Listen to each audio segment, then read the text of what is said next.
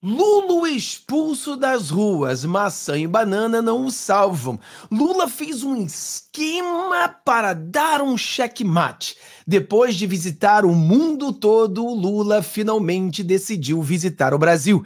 E chegando no Brasil, ele fez aquele esquema, né? Vamos fazer, botar um feriado, vamos levar o maior número de pessoas possível, vamos dar banana, maçã, pagar ônibus, fazer aquele negócio tudo para tentar fazer com que o povo me aceite. O Lula chegando em Belfor Roxo foi atendido dessa forma. Olha só, pessoal, olha como ele foi atendido.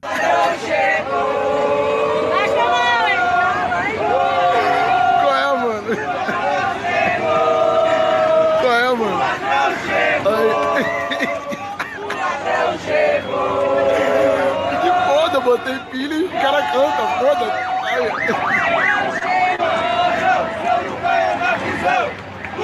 Ladrão, seu lugar é na prisão!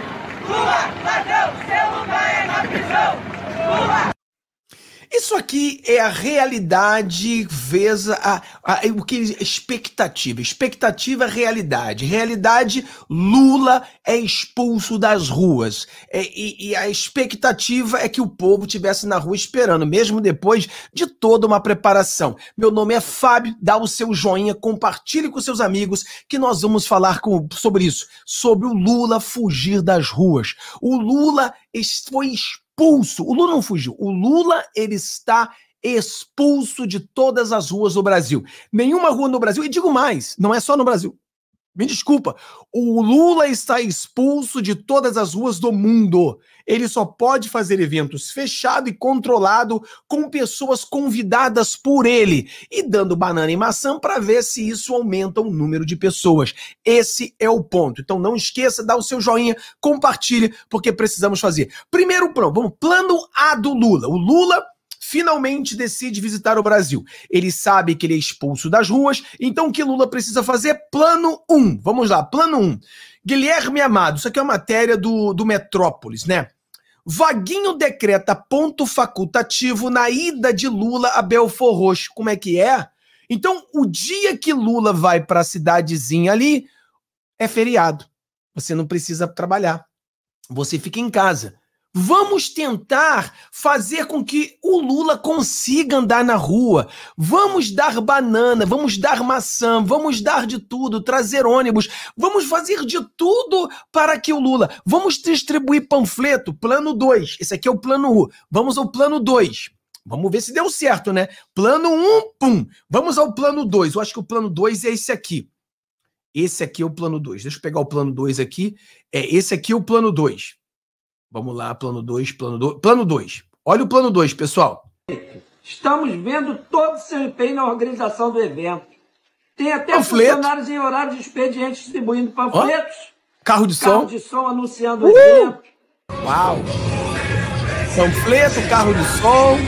Toda uh. maquiagem, toda maquiagem da cidade. Olha, arrumaram a cidade. tapa buracos. Olha. Até Guaravita o senhor vai distribuir para quem for no Olha, eles até usaram os soldados, né, de repente, para pintar os paralelepípedos ali. Olha, distribuição de comida, trisbão de coisinhas. Olha o plano aí, olha o plano para lotar, pro Lula poderes as ruas. Vamos lá, desculpa aí se eu parei, vamos voltar aqui, vou dar uma voltadinha aqui. Continua, vai lá. Buracos. Até Guaravita o senhor vai distribuir para quem for no evento. Quem dera que o senhor fosse tão empenhado assim nas verdadeiras prioridades da população mas fique tranquilo, o povo está vendo. A resposta. Então você está vendo aí. Aí, plano 2, né? Então você viu, plano 1, um, feriado. Plano 2, distribuir panfleto para todo mundo. Plano 3, arrumar a cidadezinha. Olha que cidade bonita, toda pintadinha, tão linda, Belfor Roxo. Tá linda demais. Aí o plano 4. Deles, ó. Banana e maçã. Brinde deles, ó. Banana e maçã. Banana e maçã. Que isso, cara, hein?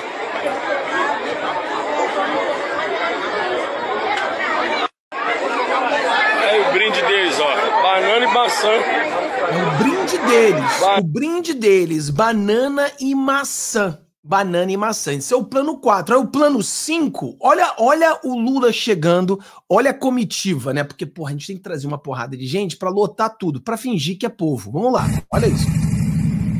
Voltando aqui, ó. Olha isso. Povo não tem, mas gente paga pelo nosso dinheiro, putz grilo, mano. Vai vendo, vai vendo o Brasil, olha aí, ó. Olha, olha isso. Olha. E são contra armas, hein, pessoal? Eles são contra o armamento. Olha isso aí. Olha aí, pessoal. Olha o nosso dinheiro aí, ó. Imagina o Bolsonaro quando fazia a motociata que levava uma motocicleta, era todo mundo reclamando. Olha o Lula aí, ó. Aí. Só isso aí enche um lugar. Só de gente que ele trouxe. Olha aí.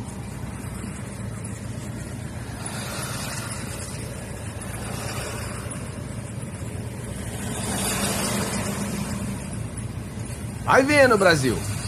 Esse é o plano, o plano dele, o plano dele de lotar e dizer que Lula não é expulso das ruas. Aí a gente volta aqui, por exemplo, eles mostraram como o Belfor Roxo tá bonito, não tá? Mostramos para vocês aqui como é que Belfor Roxo tá lindo. Deixa eu voltar aqui e mostrar para você como é que tá bonito o Belfor Roxo. Repara só que cidade bonita, tão bonitinha, tão pitadinha. Olha só, olha só. Vamos voltar aqui de Tem volta. organização olha do só. evento. Olha que bonito, Tem tudo até funcionários em limpinho. horário de expediente Olha que coisa linda, que cidade linda, hein? Carro de som o Lula tá chegando. Cidade linda. Cidade linda. Olha só, repara só a cidade. Toda maquiagem, toda maquiagem. toda da maquiagem, cidade. toda maquiagem. Pintura Agora vamos a Belfor Roxo como realmente é, né? Normalmente, no dia a dia. Vamos lá. Pessoal, Belfor Roxo, ó. Olha aí. Cidade, ó. Olha aí. Prefeito tem alinhado, ó. A quem, ó? Ó que Olha, vergonha. Olha, olha, repara, repara, repara os complementos ao Lula. Ó, repara o que tá escrito ali, ó. Olha os complementos, ó, 171, ladrão, Lula ladrão. Olha aí, ó, os complementos, né? O pessoal gosta muito do Lula, gosta muito. Vamos lá, continua lá. Belfor Roxo, ó.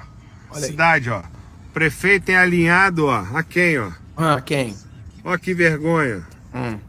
A população mesmo escreve no cartaz do cara, ó. Olha lá. 71, ladrão. Hum. E a cidade, ó. Oh, meu Deus. Sabe qual é o nome do prefeito aqui dessa cidade, Belfor Roxo? Porquinho. Ele é o Porquinho. Aí, pessoal. Olha onde a gente tá. Aqui. Em frente à prefeitura. O cara é o Porquinho. O cara é o porquinho. O cara é o porquinho. Então, tudo feito pra encher. Aí, a verdade, a recepção na rua é essa aqui. ladrão chegou!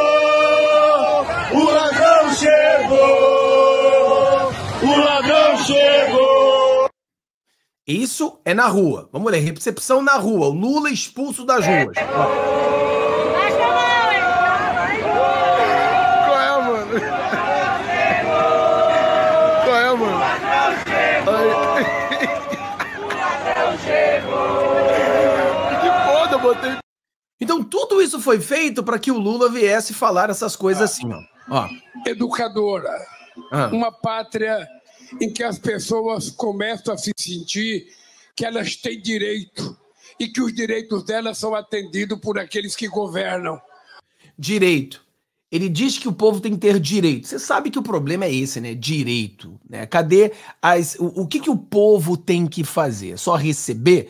E aí que tá. O Lula e o PT, eles estiveram na presidência, né, por quatro mandatos. O que, que eles fizeram? Nada. Mas eles sempre dizem que vão fazer. Sempre dizem que vão fazer. Então o Lula ali tem até bastante gente, porque é um ambiente fechado. Como ele fugiu das ruas, ele tem que fazer em evento fechado, controlado, para que eles possam vender para o panfleto da Globo, dizer que teve gente, as pessoas apoiam ele, toda essa loucura, né? Olha só. Porque é para isso que nós somos eleitos. Veja, o ricaço não precisa do governo, mas só O ricaço não precisa do governo. Porra, ninguém precisa do governo. O que o governo deveria fazer é simplesmente deixar com que as pessoas cresçam.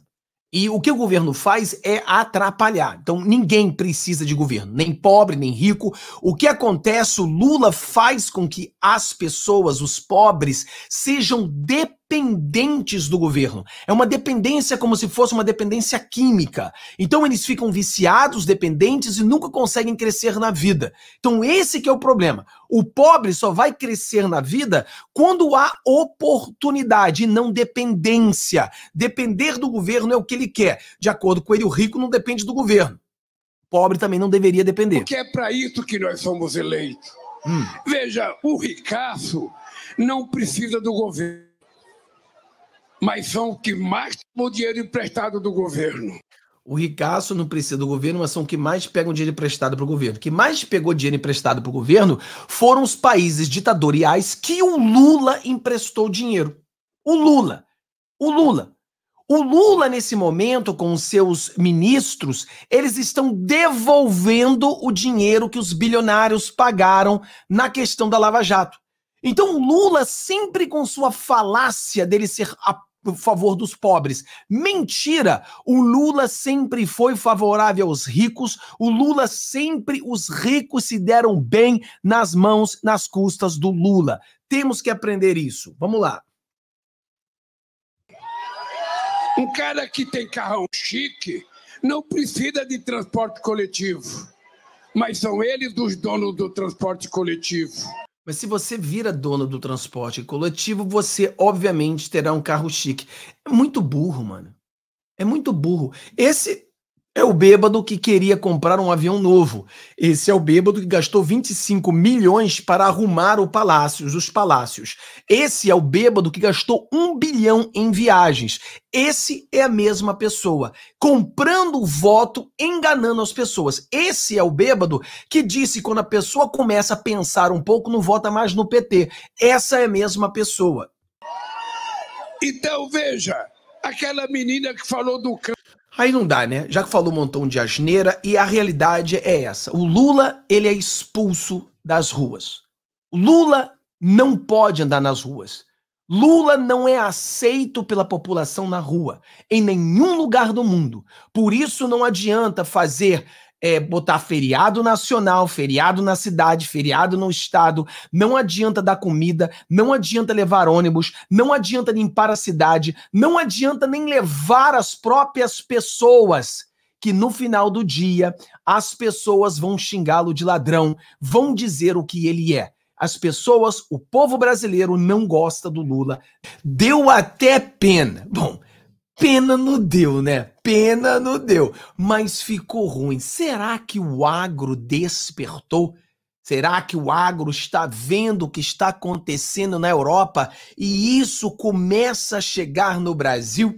Porque nesse evento do agro, aonde uma pessoa que eu não sei da, da onde ele tirou a loucura de convidar o Lula, o Lula se lascou deu muito problema. Você não tem ideia. Foi boicotado, foi um fracasso, tudo porque uma pessoa decidiu convidar a quadrilha. Galera, meu nome é Fábio, vamos falar sobre isso, um vídeo curto e objetivo para você compa compartilhar com todo mundo, porque é isso que precisamos, precisamos desse momento.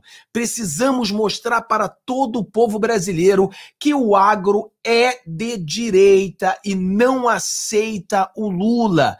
Mas por quê? Por que será? Vamos mostrar isso para você. Tu compartilha com seu amigo, joga no WhatsApp, vamos direto ao assunto. Olha só isso aqui. Vamos lá. Senhor Dilvo Groli. Pera aí, vou voltar aqui. O presidente dessa cooperativa, Copavel, aqui de Cascavel, uma das cinco maiores da América Latina, perdeu o juízo. Literalmente perdeu o juízo. Senhor Dilvo Groli com todo o respeito que lhe devo, com o respeito que o senhor merece.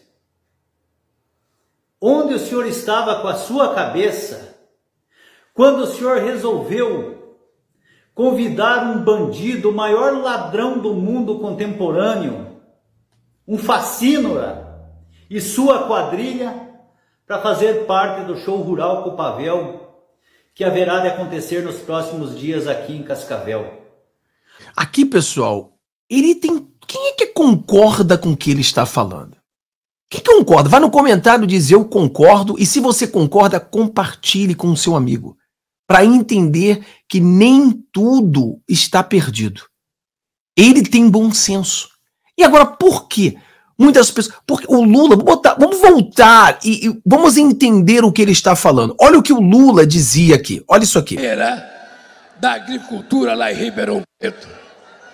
Que alguns fascistas, alguns fascistas, alguns negacionistas hum. não quiseram que ele fosse na feira. Desconvidaram o meu ministro. Eu falei para o Fávara, não fique nervoso não fique nervoso, não perca a cabeça, que a agricultura brasileira não é só isso.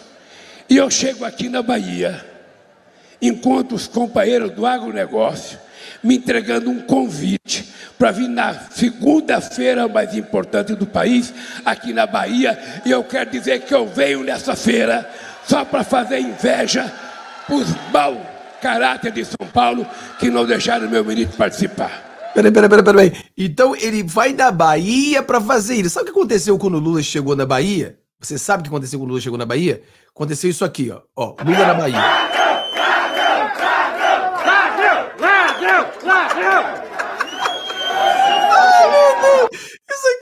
Pessoal, esse aqui foi quando o Lula foi pra Bahia, tá? O Lula, aqui o Lula fala o seguinte, ó. Não, não tem problema. Eu vou pra Bahia. Do agronegócio. Ah. Eu vou pra Bahia. Ele não é pequeno produtor, não, ele é grande produtor. Aí o Lula, o Lula é chega na Bahia.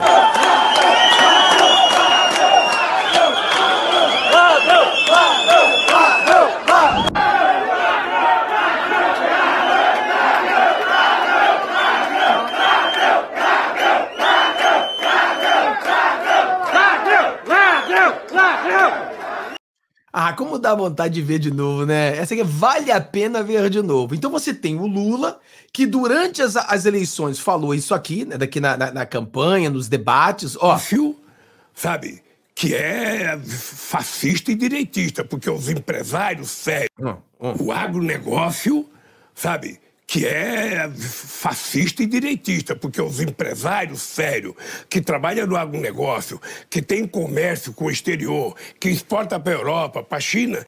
Então você vê. Então ele, ele vai chamando o pessoal do agro de fascista, de nazista, de futebolista, xingando, atacando o agro, Aí ele vai continuar atacando. Aí ele tenta fazer um evento onde ele convida o ministro dele. E quem vai no lugar dele é o Bolsonaro. O Bolsonaro foi. Então ele ficou todo raivoso e disse que não tem problema que não são todos os fascistas, mas na Bahia eu vou para dar vergonha ao Bolsonaro. Aí o Lula vai para Bahia. Vai, Lula, como é que foi a recepção na Bahia, Lula? Fala pra gente aí. Fala, como é que foi a recepção?